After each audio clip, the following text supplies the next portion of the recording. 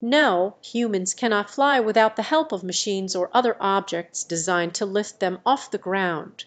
While some people enjoy activities such as skydiving or bungee jumping that simulate the feeling of flying, these experiences rely on gravity rather than the ability to fly under one's own power.